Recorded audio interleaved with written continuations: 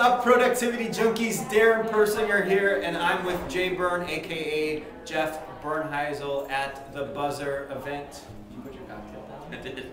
You, are you afraid?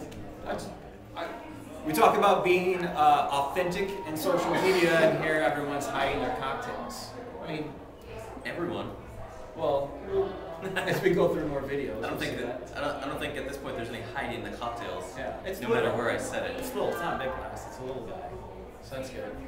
So Jeff uh, put on this event. He organized everything, and he also did some sessions. And one of them is about WordPress. And I love WordPress. You need to be on WordPress because you need to control your environment. What I tell agents is that your site is Can I cuss on video?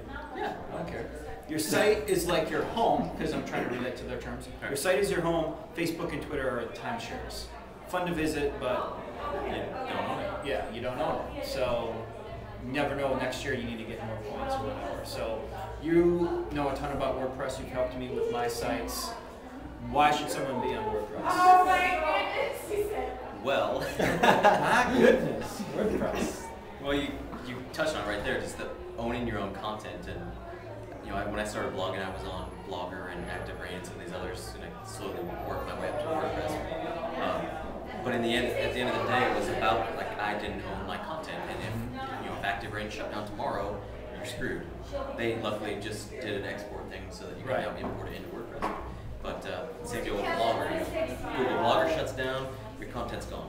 Right. So WordPress, you know, you're you're able to post it, have it set up for your server, same with uh, all your images, your videos, you post onto YouTube. It's just a great place to store all of your content in one location that you own, and you can you know build the design around you and reflect your activities, and it's just so many millions of things I could.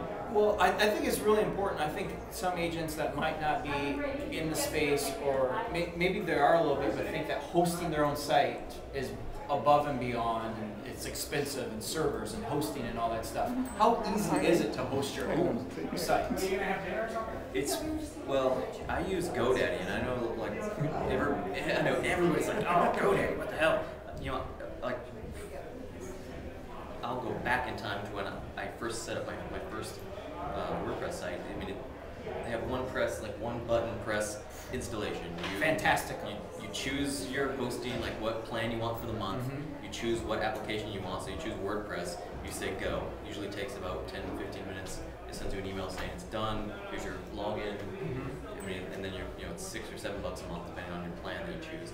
I've never had any issues with GoDaddy. Not that I'm plugging them or anything, but you know, Bluehost, it's all the same. Like it's- Caterhost, It's whatever. really easy to set up and install, and you know, then you've got these people that are like, oh, hosting, you have to FTP this and that, and sometimes you do if you're like super into customizing things and Mhm. uploading graphics and different things, but for the average agent, you don't really need to do any of that. You, you just host it with somebody. Worst case, you know, you have a like your WordPress designer. If you have a custom site built or something like that, we offer the hosting. It's Right. part of the package.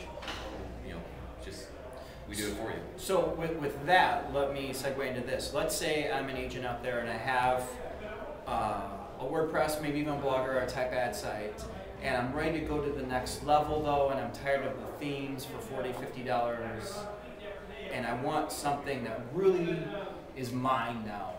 That no one, it doesn't look like anything else. Yeah. What can you and HomeQuest do for that? Well, so what, what we do is we actually sit down with the agent. We have a design consultation. We have an in-house design team, coders, you know, all the, all the guys literally in the room next to me. So we'll sit down with you for like an hour, two hours, or however long it takes. Get an idea of what your business is, how you know your personality, colors you like, just all the, all the stuff, and we literally will design you a full custom site from scratch.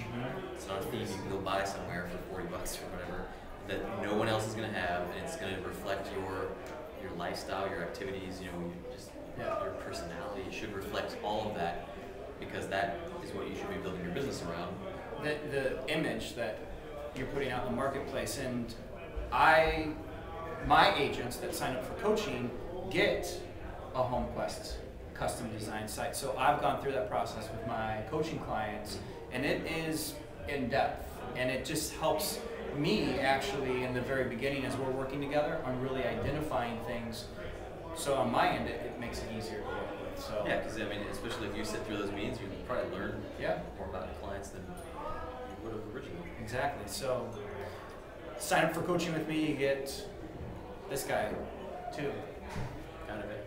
And if you're in Portland or Seattle, we'll take you out for whiskey. how, how can people contact you? Um, JBern on Twitter, J B E R N. Don't expect a follow back. I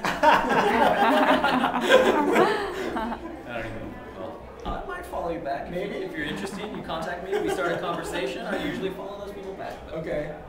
All right. And then homequestgroup.com. Yeah, Jeff at pdxhomequest.com. Cool. Peace out, productivity junkies.